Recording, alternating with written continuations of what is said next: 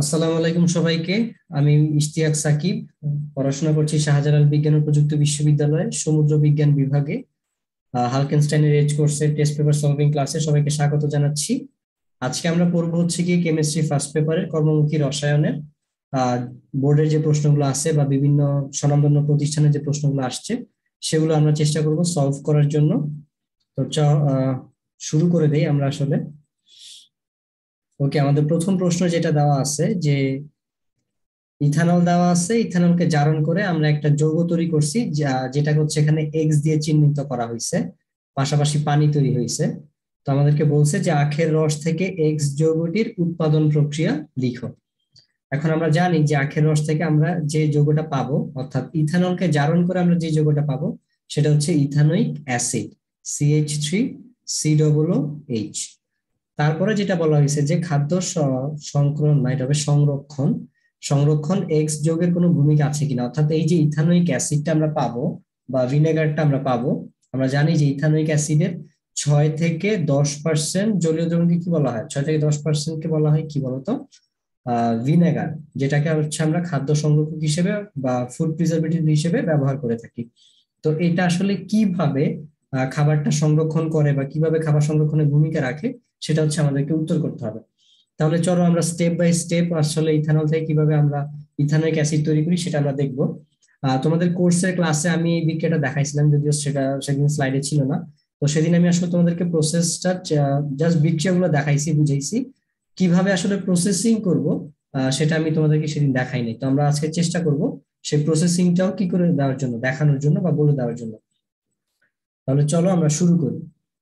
আমরা ফার্স্টে কি করব বলতো আমাদেরকে দেখো, এখানে আমাদের প্রশ্নে যে জিনিসটা চাওয়া হয়েছে, আখের রস থেকে এক্স যৌগটার উৎপাদন প্রক্রিয়া লিখব। তাহলে আমরা শুরুতে কি করব বলতো আমাদের শুরুতে কি লাগবে? আমাদের শুরুতে লাগবে আখ। তাই তো? সুগার কেন লাগবে আমাদের। তো সুগার কেন জুস আমার অনেক প্রিয়। তোমাদের তোমাদের যাদের প্রিয় তাদের সাথে আমার হাই ফাইভ সো এখন আখটা যে আমি নিব, ধরো আখ নিলাম, আখের যে পাতা টাতা আছে, এগুলো সব হচ্ছে আমার সাইজ করতে হবে। আর এই পাতা টাতা সবকিছু সরাই আখটাকে আমার স্লাইস করে কাটতে হবে। তারপর হচ্ছে আখটাকে আমার মারাইতে হবে বা মেশিনের সাহায্যে যেভাবে হোক না কেন, আমার হচ্ছে আগে আখ থেকে আখের রসটা কালেক্ট করতে হবে, তাই না? তো ফার্স্ট আমি কি করব বলতো? ফার্স্টে আমি আখের রস সংগ্রহ করব। সেটা কীভাবে? আখ থেকে। আখ থেকে আখটাকে মারিয়ে হোক বা মেশিনের সাহায্যে হোক, আমি হচ্ছে আখের রস সংগ্রহ করব। ঠিক আছে? এটা হচ্ছে আমার ফার্স্ট স্টেপ আখের রস সংগ্রহ করে আমি কি করব বলতো আচ্ছা সরি আখের রস সংগ্রহ করার পরে আমি যেটা করব, আখের রসে আরেকটা জিনিস বলতে ভুলে গেছি। তিন থেকে চার পার্সেন্ট চিনি থাকে, ঠিক আছে? আখের রসে হচ্ছে গিয়ে তিন থেকে চার পার্সেন্ট চিনি থাকে। এবং এই আখের রসটা থেকেই হচ্ছে গিয়ে আমরা মেনলি আমাদের যে কাঙ্ক্ষিত উৎপাদ, সেটা আমরা তৈরি করব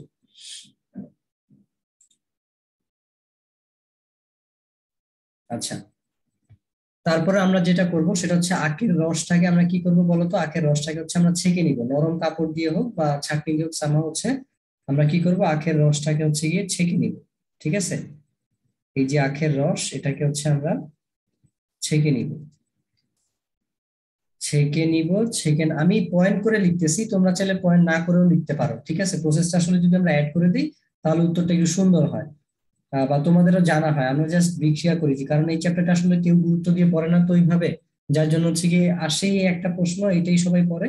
বাট যদি খাদ্য কোটজাতকরণ বা অন্য জায়গা থেকে সামান্য প্রশ্ন আসে, তখন হচ্ছে সবার হা করে তাকায় থাকতে হয়। দেখো, আখের রস আখের রস ছেঁকে নিব। তারপরে ছেঁকে নেওয়ার পর আমরা কি করব বলতো কড়াইতে দিব। কড়াইতে আমরা হচ্ছে তাপ দিব। কড়াইতে রেখে তাপ দিব। ওকে আখের রসটাকে আমরা কড়াইতে রেখে তাপ দিব, তাপ দেওয়ার পরে কি হবে? ওয়ান থেকে ওয়ান থার্ড হচ্ছে আমরা সরাই ফেলব কমায় ফেলব আর কি। ওয়ান থার্ড আমরা কমিয়ে ফেলব। এখন একটা জিনিস তুমি চিন্তা করো যে তোমার পাঁচ লিটার পাঁচ লিটার না সরি ধরো যে এক গ্লাস পানির মধ্যে তুমি দিছিলে হচ্ছে গিয়ে তোমার এক চামচ সোডিয়াম ক্লোরাইড বা লবণ দিছিলা, ঠিক আছে? এক চামচ লবণ দিছিলা। এখন তুমি এই লবণটাকে, তুমি হচ্ছে কি করছ বলো তো? সামহাও পানি কমায় দিছো। পানি কমায় দিছ ধরো আমি বাষ্পীভূত করব না, দেখা যাবে লবণও গলে চলে যাবে বাট সেই চান্সটা কম। কারণ আমরা কি জানি বলতো আচ্ছা ধরো এই লবণ পানিটা কি? যে এক চামচ আমি লবণ পানি মিশাইলাম। লবণ পানি মিশানোর পরে আমি এটাকে চুলায় বাষ্পীভূত করতে দিলাম। তারপর আমার পানি হয়ে গেলে এতটুকু। ঠিক আছে? এই লবণ পানিটা এতটুকু হয়ে গেছে। বলতো কোনটা ঘন হবে? বাষ্পীভূত হওয়ার যাওয়ার চান্স কম, কারণ আমি জানি যে পানির স্ফুটনাঙ্ক হচ্ছে একশো ডিগ্রি সেলসিয়াস, আর সোডিয়াম ক্লোরাইডের স্ফুটনাঙ্ক হচ্ছে গিয়ে গলনাঙ্কই তো মনে হয় আটশো ডিগ্রি সেলসিয়াস। স্ফুটনাঙ্ক সেখানে প্রায় চোদ্দশো দশ as per I can recall so বহুত পার্থক্য। অবশ্যই এটা ঘন হবে। কেন হবে? কারণ এখানে কম পানিতে অনেকগুলো লবণ থাকবে আর এখানে বেশি পানিতে সেম লবণটাই থাকবে। এই জন্য আমার যেখানে কম পানি, সেখানে হচ্ছে আমার কি হবে বলতো? ওইটা একটু বেশি ঘন হবে। সো আমি যখন কড়াইতে দিয়ে তাপ দিব, তখন হচ্ছে আমি যখন ওয়ান থার্ড কমায় ফেলব, আমার আখের রসটা কি হবে বলতো? আখের রসটা ঘন হবে। ওকে এই যে আমি ঘন হবে বলতে বলতেছি, আখের রসটা ঘন করব আর কি। এই ঘন আখের রসে, ঠিক আছে, এই ঘন আমি তীর চিহ্ন দিয়ে যাব পুরো ক্লাসে ঘন আখের রসে দশ পার্সেন্ট চিনি থাকে। দেখো তো আগে কয় পার্সেন্ট ছিল? তিন থেকে চার পার্সেন্ট যখন ঘন হয়ে গেছে, তখন কি পানির তুলনায় সোডিয়াম ক্লোরাইডের পার্সেন্টেজ বেশি থাকবে না এখানে? দেখো, আবার মনে করো না যে আখে সোডিয়াম ক্লোরাইড থাকে। আমি জাস্ট তোমাকে সিম্পলি এই আখ ছাড়াও অন্য উদাহরণ দিয়ে বোঝানোর চেষ্টা করতেছি যাতে তুমি জিনিসটা ক্যাচ করতে পারো। সো এখানে যেহেতু আমার পানিটা কম বাট চিনির পরিমাণটা বেশি, এই জন্য আমি এটা সরি লবণের পরিমাণটা বেশি, এই জন্য আমি বলতেছি এটা বেশি ঘন। এখানেও সেম আমি যখন ওয়ান থার্ড কমায় ফেলতেছি, তখন আমার চিনির পরিমাণটা কি? সেই তুলনায়, আগের তুলনায় বেশি হবে না? দেখো, এই ঘন আখের রসেও কিন্তু এখন চিনির পরিমাণ হচ্ছে দশ পার্সেন্ট চলো আমরা পরবর্তী স্লাইডে যাই। এরপরে আমরা কি করব? ঘন দ্রবণকে আমরা ঠান্ডা করব। ঘন দ্রবণকে ঠান্ডা হ্যাঁ ঘন দ্রবণটাকে হচ্ছে কি আমরা ঠান্ডা করে ফেলব। ঠিক আছে? হ্যাঁ ঠিক আছে, ঘন দ্রবণটাকে ঠান্ডা করে ফেলব, ঠান্ডা করব। ঠান্ডা করার পরে কি করব বলতো? আচ্ছা আমরা আগে কি করছিলাম? আগের স্লাইডটাতে আমরা হচ্ছে ঘন করছি না। হ্যাঁ ঘন করে দশ পার্সেন্ট চিনি হচ্ছে, আমরা হচ্ছে দশ পার্সেন্ট চিনি পাবো যখন ঘন করে ফেলব। ঘন করার পরে আমার কাজ হচ্ছে আমি এটাকে এখন ঠান্ডা করব। করার পর আমি যে কাজটা করব সেটা হচ্ছে যে আমি পাঁচ লিটার দ্রবণ নিব এটা, ঠিক আছে? ধরো যে ঘনকে ঠান্ডা করব দেন পাঁচ লিটার দ্রবণে পাঁচ লিটার দ্রবণে আমি কি স্লাইড প্রবলেম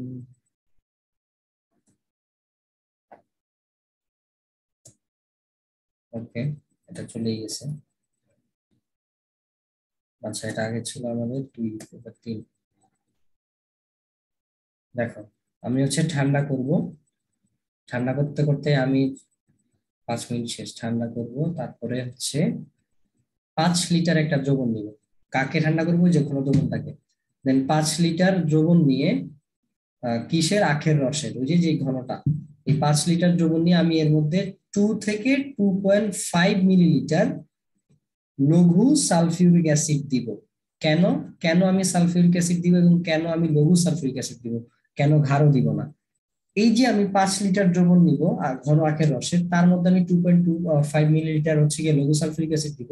এই লঘু সালফিউরিক অ্যাসিডটা যে গাছটা করে আমার যে অনাকাঙ্ক্ষিত বা অপ্রয়োজনীয় ব্যাকটেরিয়া গুলা হচ্ছে গিয়া জন্মাইতে চায়, সেই ব্যাকটেরিয়া গুলোকে ও কি করে?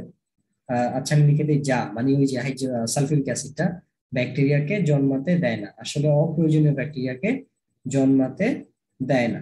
ওকে? তারপরের স্টেপ আমি যেটা করব দুই চামচের মতো আমি হচ্ছে গিয়ে অ্যামোনিয়াম সালফেট দিব। সরি হ্যাঁ অ্যামোনিয়াম সালফেট। অ্যামোনিয়ামের যোজনী এক, সালফেটের যোজনী দুই।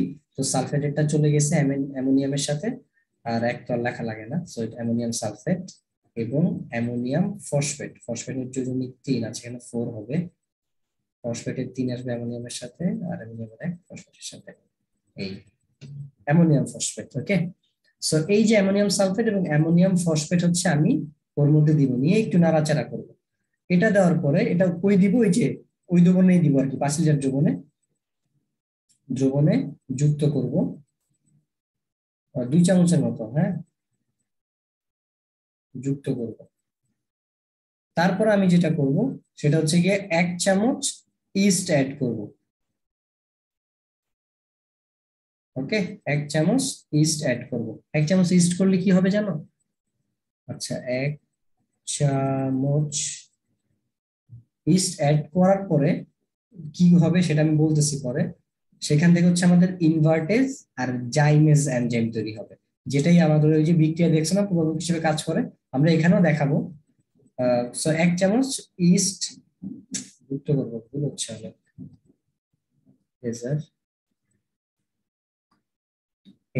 ওকে ইস্ট যুক্ত করব।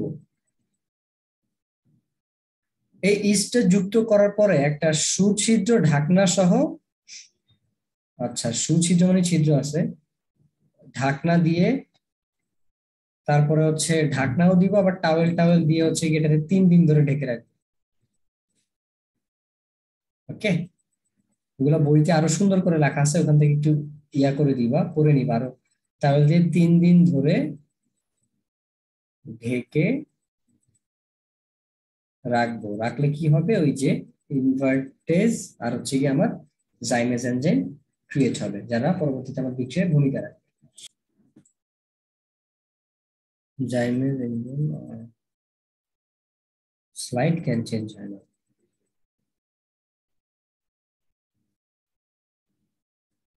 ওকে দেখো, এরপর আমরা আমাদের মোটামুটি সেই বিক্রিয়াটা শুরু করব, যেখানে আমরা ইনভার্টেজ যে যে ইনভার্টেজ আর জ্যামেজ এনজাইমটা নিঃসৃত করে মানে ইস্ট থেকেই হচ্ছে ইনভার্টেজ আর জ্যামেজ এনজাইমটা নিঃসৃত হয়। তাহলে দেখি সেগুলোকে আমরা কি কাজে লাগাইতে পারি। তাহলে আখের রসে আমরা কি পাবো বলতো? আখের রসে আমরা চিনি পাবো C twelve H twenty two O eleven এটা হচ্ছে চিনির সংকেত। তারপরে এই চিনিকে আমরা আদ্র বিশ্লেষণ করব কি দিয়ে? আখের রসটাকে আমরা আদ্র বিশ্লেষণ করব হচ্ছে আমাদের ইনভার্টেজ এনজাইম দিয়ে, যেটা আমরা থেকে পাইছি? ওই যে ইস্ট অ্যাড করছিলাম সেই ইস্ট থেকে পাইছি। এবং এখানে তাপমাত্রা হবে কত বলতো? গ্রহণযোগ্য বা উপযুক্ত তাপমাত্রা হবে তিরিশ ডিগ্রি সেলসিয়াস। তারপরে এই ইনভার্টেজ তাপমাত্রা আমি কি করব? সরি ইনভার্টেজ তাপমাত্রায় না ইনভার্টেজ এনজিনে তিরিশ সেলসিয়াস তাপমাত্রায়, আমি চিনিটাকে বা আখের রসটাকে আদ্র বিশ্লেষণ করে আমি এখান থেকে পাবো হচ্ছে গিয়ে glucose C six H twelve O six plus আমি পাবো fructose C six H twelve O six এখন যাদের প্রশ্ন যে ভাই গ্লুকোজ আর ফ্রুক্টোজের সংকেত তো এক তাহলে এদের নাম কেন আলাদা? আমি কোর্সের ক্লাসে তোমাদেরকে বলছিলাম, আজকে দেখাই দিব যে গ্লুকোজ আর ফ্রুক্টোজের আসলে আণবিক সংকেতটা এক, কিন্তু গাঠনিক সংকেতটা ভিন্ন। এর জন্য ওদের নাম আলাদা। আর গাঠনিক সংকেত ভিন্ন হওয়ার কারণে অনেক ক্ষেত্রে ধর্মে অনেক পার্থক্য দেখা যায়। সো এই জন্য হচ্ছে ওরা আসলে আলাদা। সো গ্লুকোজ আর ফ্রুক্টোজ ঠিক আছে? মাথায় রাখব যে আণবিক সংকেত এক। এবার আমরা গ্লুকোজটাকে কি করি দেখো? C six H twelve O six এই গ্লুকোজকে আমরা জাইমেজ এনজাইমের সাথে ইয়া দিব গ্লুকোজ বিয়োজন করাবো গ্লুকোজকে জাইমেজ এনজাইম দিয়ে আমরা হচ্ছে বিয়োজন করাবো। সেটাও হবে আমাদের তিরিশ ডিগ্রি সেলসিয়াস তাপমাত্রায়। এবার আমরা জাইমেজ এনজাইম দিয়ে গ্লুকোজটাকে বিয়োজিত করার পরে যেটা পাবো, সেটা হচ্ছে আমরা ইথানল পাবো। CH three CH two O H plus আমরা হচ্ছে কার্বন ডাই অক্সাইড পাবো ওকে সো এই যে আমি ইথানলটা পাইলাম, এটা হচ্ছে গিয়ে টেন পার্সেন্ট ইথানল ওকে এখন এই টেন পার্সেন্ট ইথানলটা পাওয়ার পরে আমি কি করব জানো? এই টেন পার্সেন্ট ইথানলটা পাওয়ার পরে আমি হচ্ছে একটা কাঠের পিপা নিব। পিপা হচ্ছে কাঠের তৈরি একটা গোল বলের মতো, যেটার উপরেও দিকে ছিদ্র থাকে, নিচের দিকে ছিদ্র থাকে। সো আমরা হচ্ছে এই টেন পার্সেন্ট যে হচ্ছে আমার ইথানল এই টেন পার্সেন্ট ইথানলকে আমি হচ্ছে কাঠের পিপার মধ্যে নিব। আমি বলছি যে তোমার ইয়া হয়? কি বলে, এই যে পিপাটা এটার উপরে নিচে মানে দুই সাইডে ছিদ্র থাকে। তো আমরা কি করব? এই যে আমি পিপার মধ্যে টেন পার্সেন্ট যে ইথানল আমি তৈরি করলাম গ্লুকোজ থেকে গ্লুকোজ ফ্রুক্টোজ থেকে, আমি হচ্ছে সেটার মধ্যে অ্যামোনিয়াম সালফেট দিব অ্যামোনিয়াম ফসফেট দিব। কি দিব বলতো? অ্যামোনিয়াম সালফেট অ্যামোনিয়াম ফসফেট এই যে আমি এখানে যে সংকেতটা দেখাইছি আচ্ছা এখানে আবার লিখি। অ্যামোনিয়াম সালফেট এবং অ্যামোনিয়াম ফসফেট দিব। এখন আমার কথা হচ্ছে যে, আমি অ্যামোনিয়াম সালফেট আর অ্যামোনিয়াম ফসফেট দিলে লাভটা কি? আমি তো অলরেডি ইথানল পেয়ে গেছি। আমি এখন ইথানলটা বলতে যে যদি জারণ করাই, তাইলেই তো হচ্ছে গিয়ে আমি আমার ইথানিক অ্যাসিডটা পেয়ে যাই। কথা হচ্ছে যে, এই যে আচ্ছা এটা ফসফেট হবে, দুঃখিত পিও ফোর সেই যে অ্যামোনিয়াম ফসফেট আর অ্যামোনিয়াম সালফেট, এদেরকে যখন আমি পিপের মধ্যে দিব, এরা কি করে জানো? এরা হচ্ছে আসলে ব্যাকটেরিয়া প্রডিউস করতে হেল্প করে। ওকে ব্যাকটেরিয়া প্রডিউস করতে এরা কি করে? হেল্প করে। এরা ব্যাকটেরিয়া প্রডিউস করার জন্য হেল্পফুল। এরাই হচ্ছে কি আমার পরবর্তী ধাপে সাহায্য করে। এরা একটা ব্যাকটেরিয়া তৈরিতে হেল্প করে, সেটা হচ্ছে মাইক্রোডার্মা অ্যাসিটো ব্যাকটেরিয়া তাই না? তো তারপরে এই যে আমি ইথানলটা পাইলাম CH three C double H তার সাথে আমি বিক্রিয়া দিব কার বলতো তার সাথে আমি বিক্রিয়া দিব হচ্ছে গিয়ে অক্সিজেনের। ওই যে আমি জারণ করাবো, আর এই যে অক্সিজেনটা উৎপন্ন করবে কে? আচ্ছা অক্সিজেনটা আসলে উৎপন্ন করবে না অক্সিজেনটা আমি দিব। কীভাবে দিব বলি আগে। মাইক্রো ডার্মা অ্যাসিটো অনেকে সরেও দিয়েও লেখে, আমি বই ওটা দিয়ে লেখা, আমি এটা দিয়ে লিখতেছি অ্যাসিটো ব্যাকটেরিয়া অ্যাসিটো ব্যাকটেরিয়া ওকে সেটা হচ্ছে আমার মাইক্রো এখানে অনুকূল তাপমাত্রা হচ্ছে তিরিশ থেকে পঁয়ত্রিশ ডিগ্রি সেলসিয়াস তাপমাত্রা এবং এটাই হচ্ছে উপযুক্ত তাপমাত্রা। আমাদের খেয়াল রাখতে হবে যাতে এই তাপমাত্রা ঠিকঠাক থাকে। সো এখান থেকে আমি পাবো হচ্ছে গিয়ে আমার ইথানোইক অ্যাসিড বা যেটাকে আমি বলতেছি আমার ভিনেগারটা পাবো ছয় থেকে দশ পার্সেন্ট ইথানোইক অ্যাসিড প্লাস হচ্ছে পানি তৈরি হবে। এখন কথা হচ্ছে এই যে অক্সিজেনটা আমি দিচ্ছি, ওই যে বললাম না পিপার উপর নিচে ছিদ্র থাকে, তো একদিক দিয়ে হচ্ছে আমি ইয়া দিচ্ছি, আখের রস জ্বালতেছি আবার একই সাথে নিচ থেকে আমি হচ্ছে বায়ু দিচ্ছি। অ্যান্ড এই বিক্রিয়াটা ঘটাইতে আমার প্রচুর পরিমাণে বায়ুর প্রয়োজন হয়, ঠিক আছে?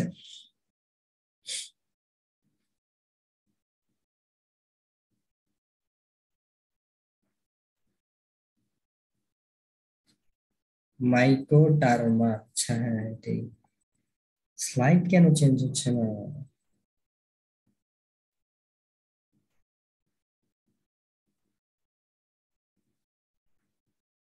হ্যাঁ এই যে দেখো বললাম না যে ব্যাকটেরিয়া প্রডিউসে হেল্পফুল করে। সো এটা কারা? অ্যামোনিয়াম সালফেট আর হচ্ছে অ্যামোনিয়াম ফসফেট। তারপরে হচ্ছে এই যে আমার মাইক্রোডার্মা অ্যাসিডো ব্যাকটেরিয়াটা এটা হচ্ছে গিয়ে এটা সাহায্যে আমি জারণ করি। কারে? ওই যে আমার, আল্লাহ, আমি সংকেত ভুল লিখছি। এটাই দেখতেছিলাম এতক্ষণ।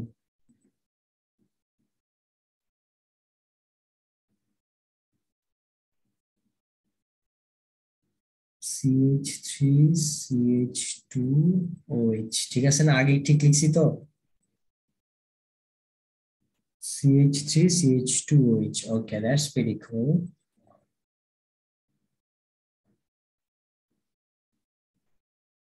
CH3CH2OH oxygen মাইক্রোডার্মাসিটো ব্যাকটেরিয়া 30 থেকে 35 হ্যাঁ ঠিক আছে।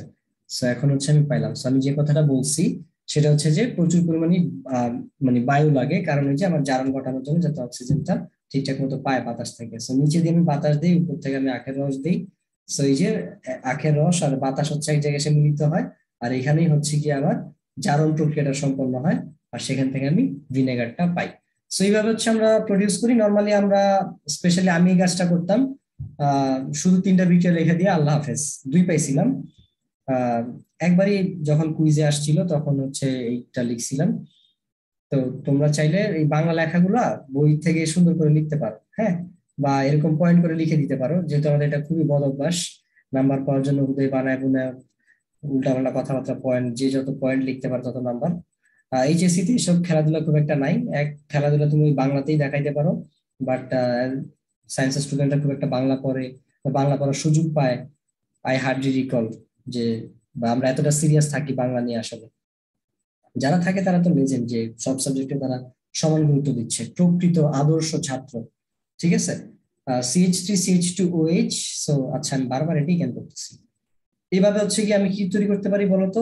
ভিনেগার তৈরি করতে পারি এবং আমাদের এক্স ছিল কিন্তু এটা পোস্টে এইটাই চাওয়া হয়েছে, দেখো। ওকে এবার বলছে যে, আমি ভিনেগার তৈরি করলাম, ঠিক আছে? এখন এই খাদ্য সংরক্ষণে ভিনেগারটা হচ্ছে কীভাবে ভূমিকা পালন করে, আমরা সেটা দেখব। চলো আমরা সেটা দেখি। স্লাইড চেঞ্জ হলে হয়েছে ঠিকঠাক মতো। সো আমরা এখন দেখব যে ভিনেগার আসলে কীভাবে খাবার দ্রব্য কাজ করতেছে পেন। হুম। দেখো, এই হচ্ছে আমাদের ইথানোইক অ্যাসিড, যেটা ছয় থেকে দশ পার্সেন্ট জলীয় দ্রবণকে আমরা কি বলতেছি বলতো?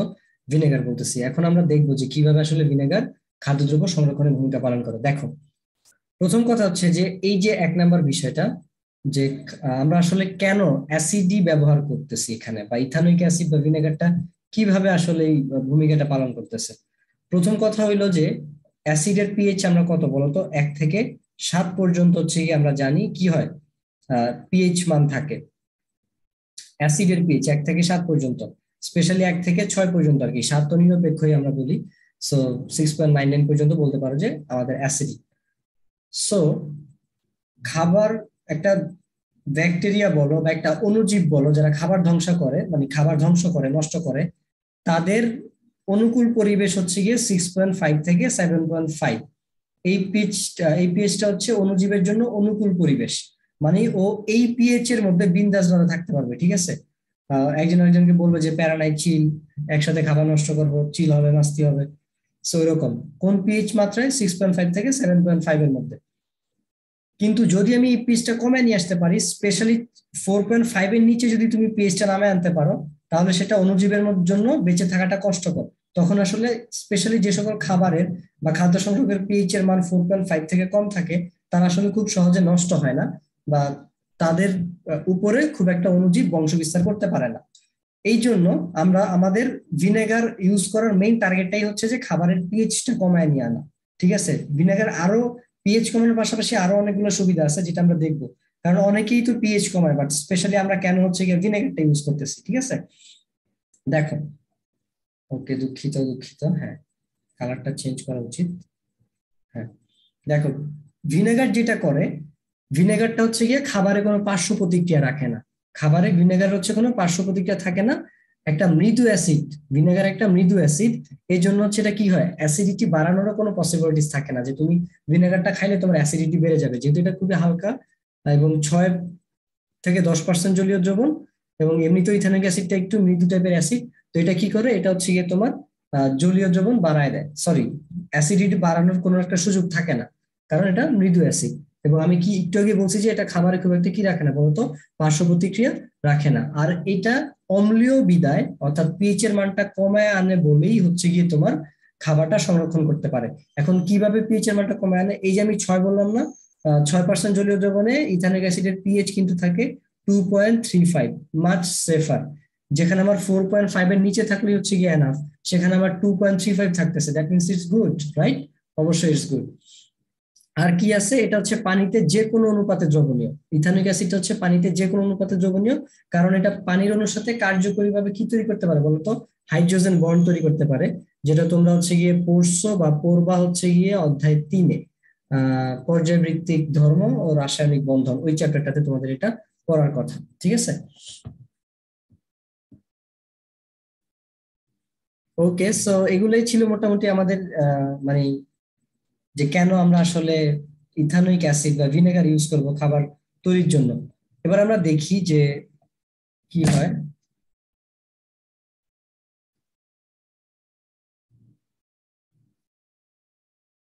হ্যাঁ red red selected slide changed কীভাবে আসলে এটা সংরক্ষণ মানে ইয়াটা করে? সিও আচ্ছা সিএইচ থ্রি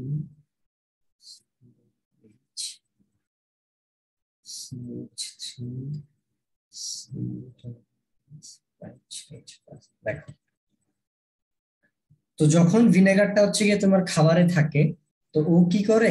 এই যে আর্দ্র বিশ্লেষিত হয়ে যায় বা বিয়োজিত হয়ে যায়। এই যে অ্যাসিটেট আয়ন আর হচ্ছে গিয়ে তোমার এই যে এইচ প্রোটন আয়ন বা এইচ প্লাস আয়ন এই দুইটা ভাগে ভাগ হয়ে যায়। এই এইচ প্লাস আয়নটা কি করে জানো? যে ইয়াটা থাকে অনুজীবের যে প্রোটনটা থাকে, ওই প্রোটনটাকে হচ্ছে ভেঙে দেয়।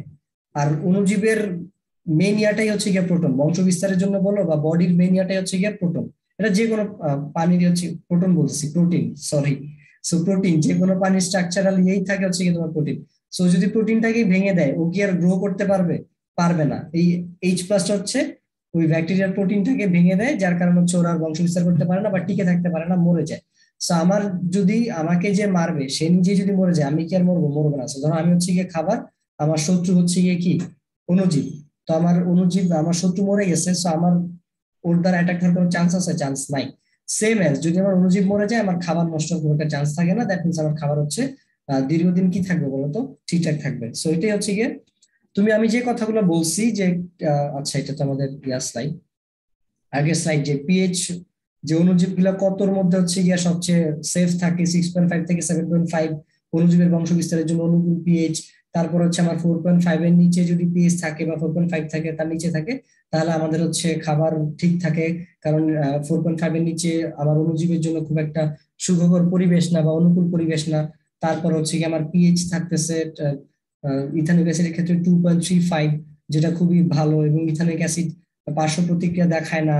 ইথানিক অ্যাসিড হচ্ছে গিয়ে পানির সাথে বন্ধনে আবদ্ধ হইতে পারে হাইড্রোজেন বন্ধনে সুন্দর মতো মিশে যায়। যেহেতু পিএইচটা অনেক কম থাকে বা মৃদু অ্যাসিড ইথানোয়িক অ্যাসিড এর জন্য এটা অ্যাসিডিটি বাড়ায় দেয় না। সো এই জিনিসগুলো উল্লেখ করে তুমি হচ্ছে গিয়ে কৌশলটাও এইভাবে বলে দিতে পারো। ওকে খাদ্যদ্রব্যের যে ইয়াটা থাকে। আশা করি তোমরা এটা বুঝছ। আমরা কি কি দেখব এরপরে? আচ্ছা এটার আনসার তো এখানেই শেষ। গাজন প্রক্রিয়ায় তুমি কীভাবে যৌগটি উৎপন্ন করবে? ভিনেগার একটা গুরুত্বপূর্ণ যৌগ, এর ব্যবহার বহুমাত্রিক। ওকে যৌগটি খাদ্য সংরক্ষণ কৌশল ব্যাখ্যা করো। আমার মনে হয় তোমরা উত্তরটা পারো। আমি এখানে তোমাদেরকে সরি স্পেশালি গাজনের সংজ্ঞাটা শিখাবো, গাজন বা ফার্মেন্টেশন কারণ তুমি এই যে প্রসেসটা শিখলা এতক্ষণ ধরে, আমি দেখাই তোমাকে। স্পেশালি এই যে এখানে এখানে তো এরপর হচ্ছে কি আমার ইথানিক অ্যাসিড তৈরি হয়ে যায়। লেখাটা পরে আসতেছে কেন?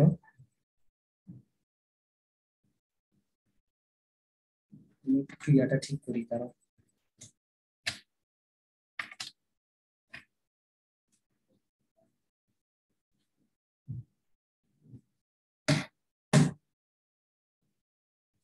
হ্যাঁ ঠিক আছে এবার। হ্যাঁ এই যে এই প্রসেসটাতে যে আমরা ইথানিক অ্যাসিড তৈরি করলাম, এটাই হচ্ছে আমার কি বলতো? ফার্মেন্টেশন প্রসেস তো ফার্মেন্টেশন কাকে বলে বা গাজন কাকে বলে? এই সংজ্ঞাটা যদি আসে, তাহলে তখন তুমি কীভাবে লিখবা সংজ্ঞাটা? দেখো, প্রক্রিয়ায়, যে প্রক্রিয়ায় শর্করা জাতীয় খাদ্য ভেঙে অ্যালকোহল সৃষ্টি করে, তাদেরকে আমরা বলতেছি কি বলতো? ফার্মেন্টেশন বা গাজন। দেখো তুমি, এটা কিন্তু একটা গরিব মার্কা সংজ্ঞা। তুমি এটার সংজ্ঞা আরও পারফেক্টলি পাবো। পারফেকশনের শেষ নাই। স্লাইড হ্যাঁ দেখো, এই যে একটা শর্করা ছিল, চিনি একটা শর্করা। শর্করা থেকে তুমি অ্যালকোহল তৈরি করছ না? যে প্রসেসটাতে করছ, এই শর্করা থেকে অ্যালকোহল তৈরির প্রসেসটাকে আমরা বলতেছি হচ্ছে গিয়ে কি বলে এটাকে? ফার্মেন্টেশন বা গাজন ওকে অনেক সময় এটাও থাকে যে অবাধ শোষণকারী জীব বা অনুজীব বা হচ্ছে গিয়া হ্যাঁ অবাধ শোষণকারী অনুজীবের যদি শর্করা থেকে অ্যালকোহল তৈরি করে, তাদেরকে আমরা বলতেছি হচ্ছে গিয়ে ফার্মেন্টেশন বা গাজন ওকে তাহলে আমরা গাজনটা হচ্ছে গিয়ে শিখলাম। এবার আমরা দেখি যে গাজন প্রক্রিয়া তুমি কীভাবে যোগের উৎপন্ন করবে। সো ভিনেগার তুমি কীভাবে গাজন প্রক্রিয়া উৎপন্ন করবে বলো তো? একটু আগে আমরা দেখাইলাম। আমরা ফার্স্টে কি করব? আমরা হচ্ছে গিয়ে, এবার একটু নিজেরা ট্রাই করা। হ্যাঁ আমি হেল্প করি। মুখে মুখে যে ফার্স্টে আমরা C twelve H twenty two O eleven এটা আমাদের চিনি। আমরা চিনিটাকে আদ্র বিশ্লেষণ করব কি দিয়ে? ইনভার্টেজ আচ্ছা ইনভার্টেজ এনজাইম দিয়ে তিরিশ ডিগ্রি সেলসিয়াস তাপমাত্রায়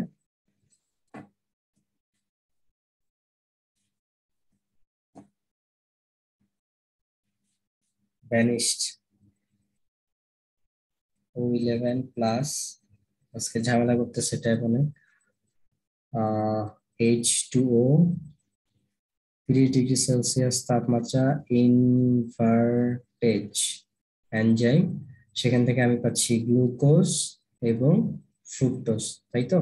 আমি বারবার বলছি যে গ্লুকোজ আর ফ্রুক্টোজের সংকেত এক, আণবিক সংকেত বা গাঠনিক সংকেত ভিন্ন এবং এদের ধর্মে অনেক ভিন্নতা আছে, গাঠনিক সংকেত কারণে। যেমন তোমার এই গ্লুকোজটা হচ্ছে গিয়ে আমরা বলতেছি মনোস্যাকারাইড এটা হচ্ছে গিয়ে ফ্রুক্টোজটা হচ্ছে গিয়ে একটা ডাইস্যাকারাইড সেগুলো তোমরা হচ্ছে বোটানিতে অধ্যায় তিনে সেল কেমিস্ট্রিতে হচ্ছে এগুলো পড়ার কথা।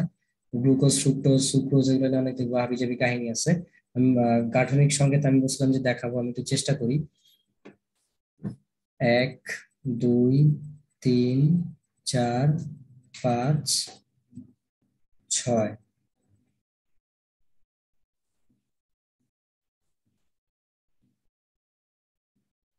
ঠিক আছে, এটা হচ্ছে আমাদের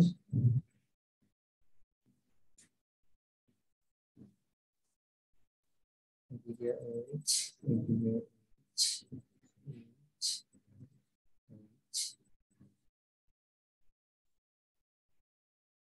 হয়েছে এক, দুই, তিন, চার, পাঁচ, ছয়। হয় নাই? আমি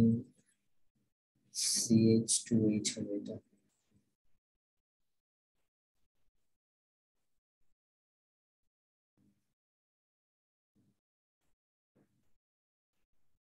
এক দুই, তিন, চার, পাঁচ, ছয় সিএইচ টু ওএইচ ওরে, আমি তো বন্ধনী ভেঙে দিলাম। সো এখানে আমার সিএইচ টু ওএইচ এখানে আমার এইটা কার্বন একটি যদি ফিলাম সো তিন নাম্বার হচ্ছে আমার এখানে এইচ এখানে ওএইচ আচ্ছা আমি ওএইচ আচ্ছা প্যারা নাই চিল আমরা একটু দেখি আমারটা ঠিক আছে কিনা। এক, দুই, তিন, চার, পাঁচ, ছয়। কার্বন ছয়। হাইড্রোজেন দুই। আচ্ছা অক্সিজেন গুনি। এক, দুই, তিন, চার, পাঁচ, এই যে ছয়। হাইড্রোজেন তিনটা, পাঁচটা, সাতটা, নয়টা, দশটা, বারোটা। পারফেক্ট তারপর হচ্ছে গিয়ে এক দুই, তিন, চার, পাঁচ, ছয় তিন, চার, পাঁচ, ছয়, সাত, আট, নয়, দশ, এগারো, বারো। এক, দুই, তিন, চার, পাঁচ, ছয়। সেটা হচ্ছে আমাদের সার গ্লুকোজ। এটা হচ্ছে আমাদের ওস্তাদ ফ্রুক্টোজ। ওকে সো এটা হচ্ছে যাদের স্ট্রাকচার জানার আগ্রহ ছিল, আমি তাদেরকে দেখা দিলাম। যুব জগতেও পড়বা এবার হচ্ছে যোগটা খাদ্য সংরক্ষণ কৌশল ব্যাখ্যা করো, যেটা আমরা অলরেডি ব্যাখ্যা করছি। একটু ইয়া করে দেখবা। দেখি, পরবর্তী প্রশ্ন কি আছে? কয়েক শতাব্দী ধরে একটা অনুতরণ আমাদের দেশে। এটা হচ্ছে আমাদের সেম প্রশ্ন, যে সংরক্ষকটি কীভাবে প্রস্তুত করা যায়? অর্থাৎ হলো গিয়ে আমরা যে ভিনেগারটা প্রস্তুত করব, সেটা কীভাবে প্রস্তুত করব, সেটাই আবার চাওয়া হয়েছে। এবং হচ্ছে গিয়ে সংরক্ষণ উদ্দীপকের সংরক্ষণটির খাদ্য সংরক্ষণের কৌশল। অর্থাৎ কীভাবে আসলে ভিনেগারটা হচ্ছে খাবার সংরক্ষণ করে। তো মোটামুটি সেম আনসার যেগুলো আমরা আগে দেখে আসছি যে ভিনেগার যেটা অর্থাৎ ইথানোইক অ্যাসিডের ছয় থেকে দশ পার্সেন্ট জলীয় দ্রবণ, যেটাকে আমরা ভিনেগার বলতেছি, এটা হচ্ছে পিএইচ এর মানটাকে কমায় নিয়ে আসে ফোর পয়েন্ট ফাইভ নিচে সরি ফোর পয়েন্ট ফাইভ এর নিচে নিয়ে আসে, যেটা হচ্ছে অনুজীবের বেঁচে থাকার জন্য অনুকূল না এবং সিক্স পার্সেন্ট যেটা থাকে, সেটার পিএইচ হচ্ছে গিয়ে সিক্স পার্সেন্ট বলতে সিক্স পার্সেন্ট ইথানোইক অ্যাসিড জলীয় দ্রবণ সেটার পিএইচ হচ্ছে টু পয়েন্ট থ্রি ফাইভ এর মতো। সো যেটা আসলে অনেক সেফ অর্থাৎ এই বেশি তো বেঁচে থাকার প্রশ্নে উঠে না অনুজীবের বা ব্যাকটেরিয়ার সেই হিসেবে হচ্ছে গিয়ে এটা মানে এইভাবে হচ্ছে ও খাদ্য সংরক্ষণ করে। আর ও বিয়োজিত হয়ে যে প্রোটনটা তৈরি করে, সেটা হচ্ছে ব্যাকটেরিয়ার প্রোটনকে ভেঙে দেয়, যেটা হচ্ছে ব্যাকটেরিয়ার ব্যাকটেরিয়াকে সরি প্রোটন না প্রোটিনকে ভেঙে দেয়, যেটা হচ্ছে ব্যাকটেরিয়াকে মেরে ফেলে আর কি। দেখি পরের প্রশ্ন কি? পরের প্রশ্ন হচ্ছে গিয়ে যে এটা মোটামুটি বিক্রিয়াটা দিয়ে দিছে। আহ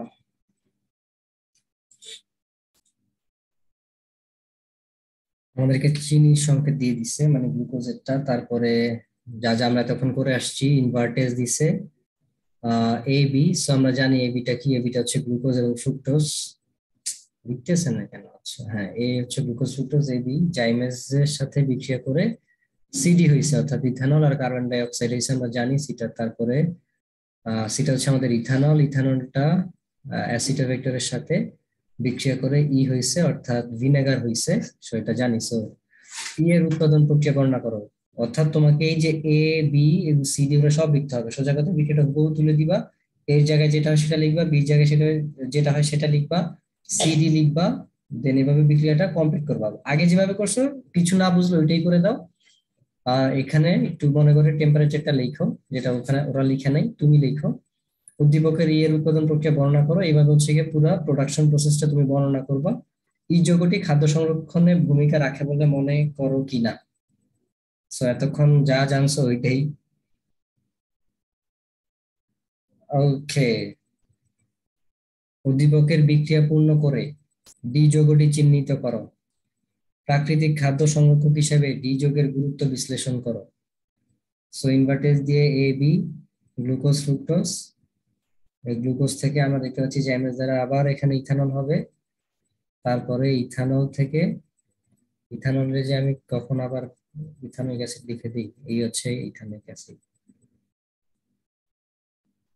সো প্রাকৃতিক খাদ্য সংরক্ষক হিসেবে ডি যোগের গুরুত্ব বিশ্লেষণ করো, করবা। এতক্ষণ যে গুরুত্ব জানছো, সেই গুরুত্ব বিশ্লেষণ করবা।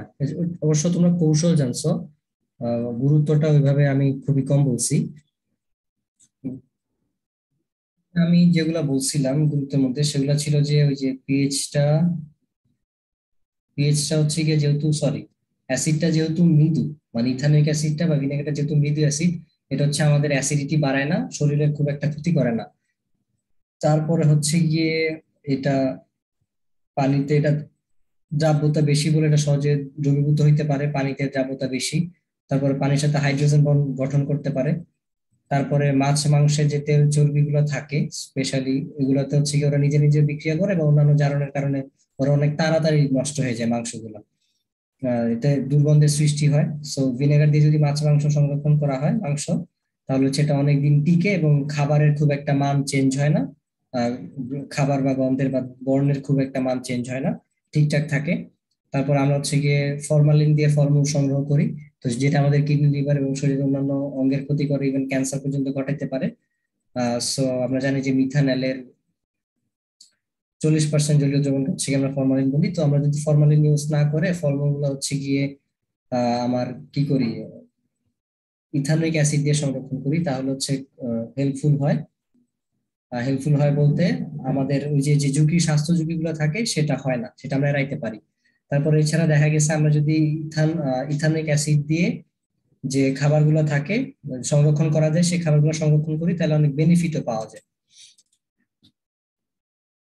এর মধ্যে যেগুলো আছে, যে আমরা যদি যে ফুড প্রিজার্ভ মানে যে খাবারগুলো আমরা, যে খাবারগুলো আমরা ভিনেগার দিয়ে সংরক্ষণ করি সে বা প্রিজার্ভ করি, সেই খাবারগুলো যদি আমরা খাই, সেইগুলো হচ্ছে আমাদের খাবারের রুচি বাড়ায় দেয়, তারপর রক্ত সঞ্চালন বাড়ায়।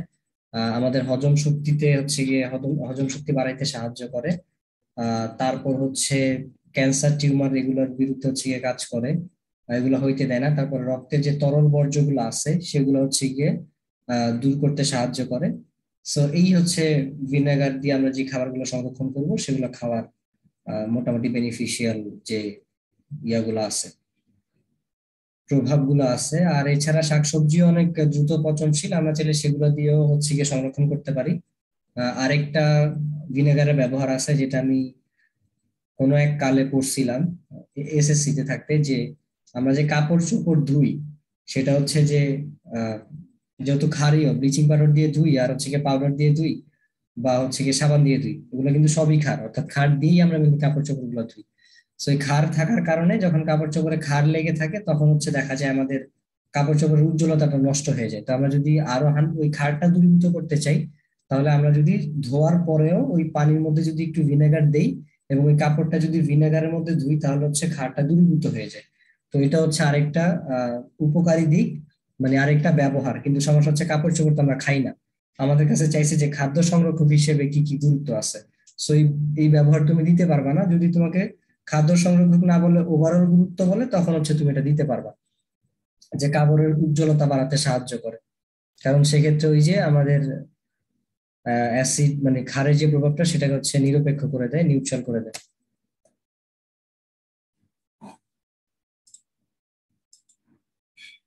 Light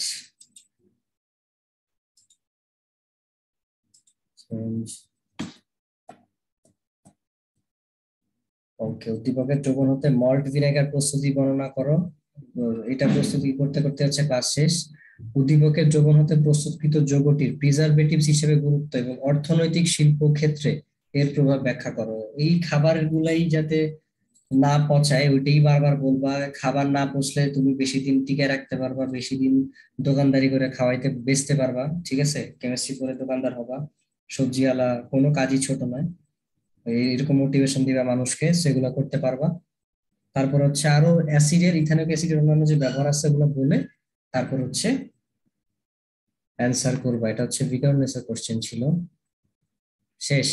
সো এই ছিল আমাদের আজকের ক্লাস সো মোটামুটি ওই একটাই অ্যাসিড ভিনেগারের প্রস্তুতি আর হচ্ছে ভিনেগার খাদ্য সংরক্ষণ কীভাবে করে সেই কৌশল আর হচ্ছে ভিনেগারের গুরুত্ব। এই জিনিসটা ইম্পর্টেন্ট ছিল। সো এটাই হচ্ছে আমাদের আজকের এই স্লাইডের পড়া। সবাইকে ধন্যবাদ। আশা করি বুঝতে পারছ যতটুকু দেখাইছি। আল্লাহ হাফেজ।